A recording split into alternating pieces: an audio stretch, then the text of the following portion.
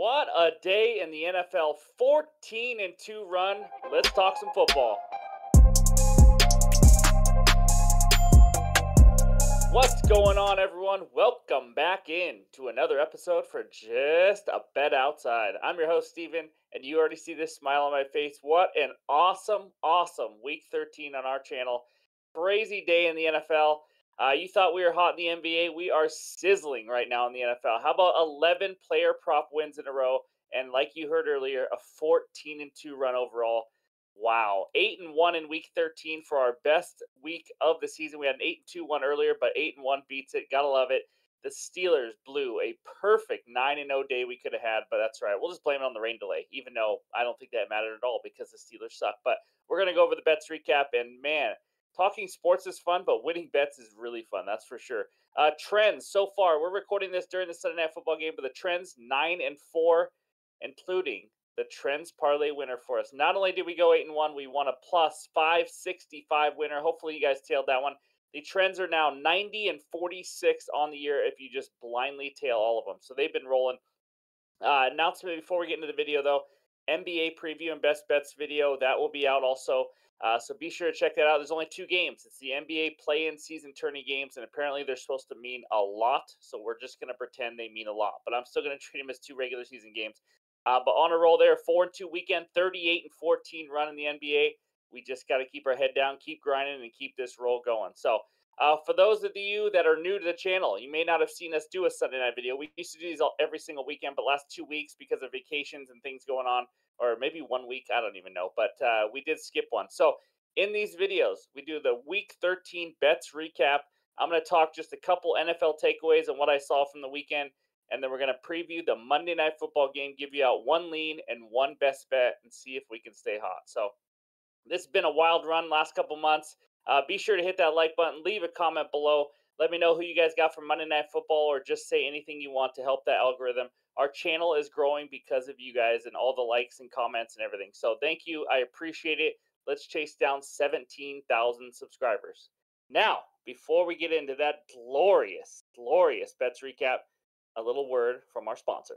All right, there it is, a Monday Night Football free square with our sponsor, Thrive Fantasy. I know I've been talking about this, guys, but it is a 100% first deposit match all the way up to 250. You look at other places, you can get 100, maybe 150. These guys are giving you $250. You do not have to bet all the money on the first bet, but they are giving you a free square. That's right. Ja'Marr Chase over a half a receiving yard. To get this first deposit match, promo code Jabo, use the link below, and then take this free square of Ja'Marr Chase, add it to another uh, player prop that we're going to give out today also on the video. Um, you can make a two leg, three leg, four, five. You can see how much you win with each parlay right there. It's a great deal, guys. You're getting free money and part of your first bet. So go join. Eligible in over 30 states. Use the promo code Jabo. And now let's go check out all the green check marks. There it is, guys. There is the eight in one day, nine in one, including that trends parlay. And by the way, you got to enjoy your winning days and winning weekends like we are right now. The Discord's going crazy this weekend. We are all loving it. Uh, betting is hard. So when you have good days, good weekends, enjoy it, but stay disciplined with your betting in the future because we're in it for the long haul. So here we go. Lions minus four, minus 112. It looked like it was going to be a blowout, and then the Lions blew it and then they figured it out at the end. A huge interception to get them back in it. Um, but they were ahead the whole game. But luckily they covered. It was closer than I wanted, but nice winner there. Steelers money line under at 48 and a half. Uh, Steelers just didn't show up. Cardinals put a beat down on them. I don't know what happened, but they just didn't show up. So it was a bad read by me, and they lost the game. Rams team total over 20 and a half. I think they ended up with 30 uh, something points when it's all said and done. It was a little closer than I wanted at the end. They were stuck on 20. Um, but they got the job done. A big interception return in that one. That was huge for the Rams. So um, nice winner. Again, the Browns defense continues to not be elite on the road. Trends parlay. Holy cow. Finally, we were due for a win. Under 40 and a half. That game had six. Six points. Jets team total under 16 and a half. I think the Jets scored six or eight or something single digits, and it was ugly. Then the over 24 and a half first half Miami Washington that got the job done because Miami scored 45 in the game. Anytime touchdowns. You know what the beauty of these were is that Derrick Henry and Rachaad White they scored early in the game. And if I mentioned that video on Friday, sprinkle maybe a little bit on Henry two touchdowns. If you did, you cashed it because he got two. That was huge. And then White touchdown, like I said, got one in the first quarter. Player props. Holy cow, 11 wins in a row on these. Derrick Henry over 62 and a half. I don't know what he ended up with, but he went well over this. Kyren Williams over 63 and a half, a little bit of a sweat, uh, but then got it done. I think ended with 80 uh, something yards. And I think Henry got close to about 100 too. Uh, this third one, this is maybe the bet of the weekend. Riley Patterson over two and a half PATs, which are extra points.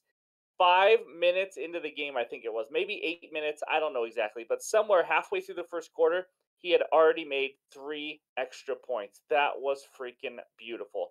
Thank goodness, because the Lions were in a lull for a while, so we would have had to sweat it out.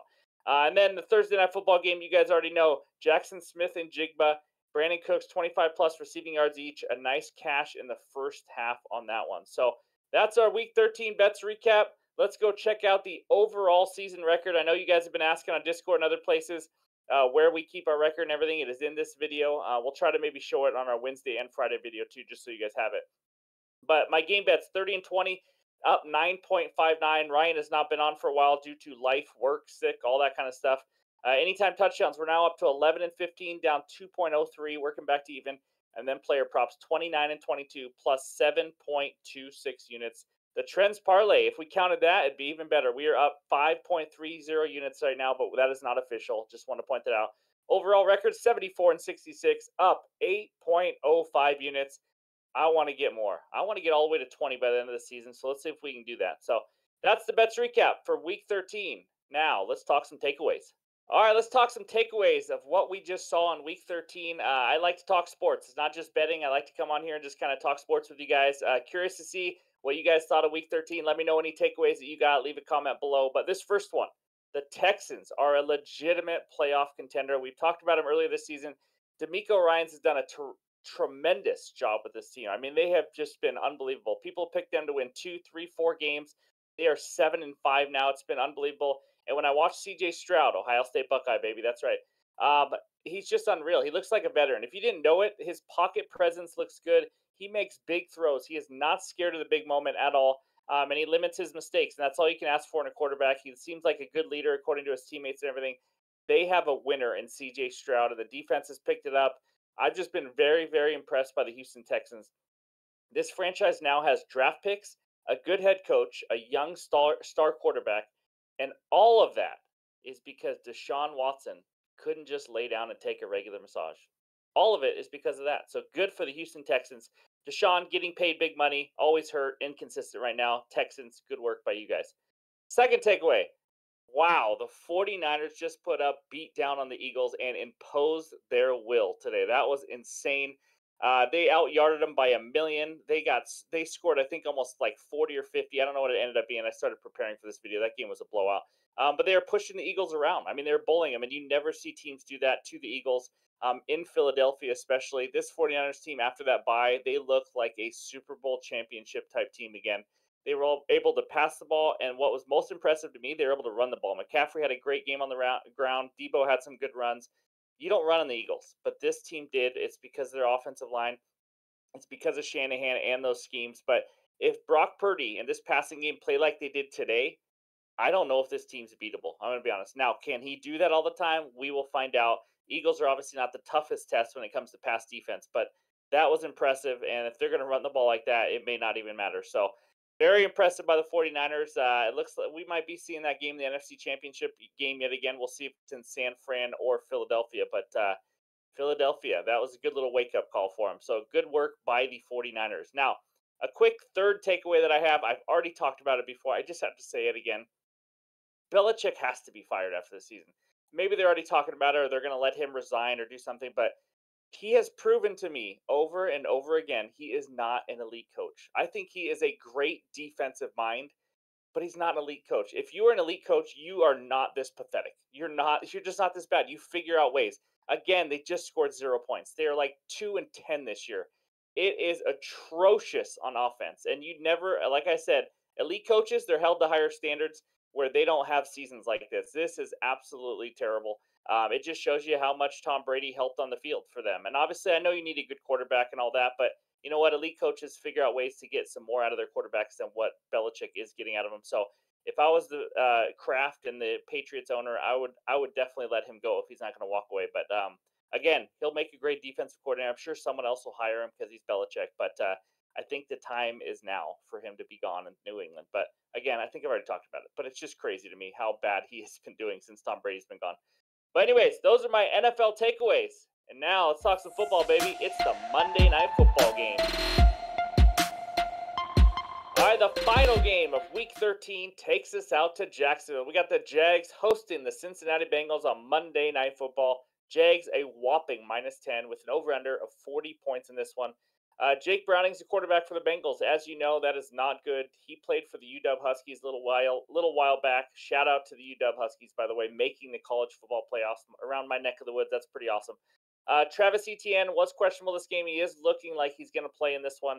The Bengals struggle defensively. Let's face it. They're 26th in pass yards allowed, 29th in rush yards allowed.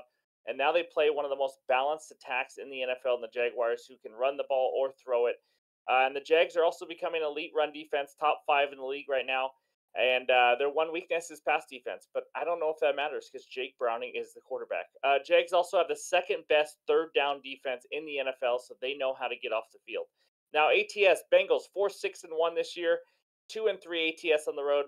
The Jaguars eight and three against the spread, two and three ATS at home, which means they are a perfect four and zero oh also on the road for against the spread. It's pretty incredible. Uh, over under Bengals six and five to the under. Jags the same with six and five. Trends that I mentioned in the Wednesday video, in case you forgot it. Jaguars nine and two against the spread in the first half this season, and they are minus five and a half on the first half line. If you guys are interested in that one, they've been playing well in the first half. Now, before we get into the best bet, let's talk leans. Uh, I go, I lean Jaguars minus 10 in this game if I had to pick. I think they win like 27 10 or something like that. Um, and, you know, 10's a lot, though. I liked it more when it was like 8, 8.5 earlier in the week, but it just skyrocketed, unfortunately. Other than that, maybe a six point teaser. It doesn't take them all the way down to under three, unfortunately. And what a six point teaser is, obviously, is you take what you're betting and take it down six points in your favor. So in this case, I would do Jaguars minus four and then take the under 46. So I took the total all the way up to 46 and took the under. So you put those together, you should get minus 120. I know on DraftKings you do. FanDuel might have higher odds on teasers now. They're starting to raise them, which I don't love. But uh, those are just a couple leans, not like really strong feels. I haven't made these bets yet, but my best bet in this game can we make it? 12 player prop wins in a row.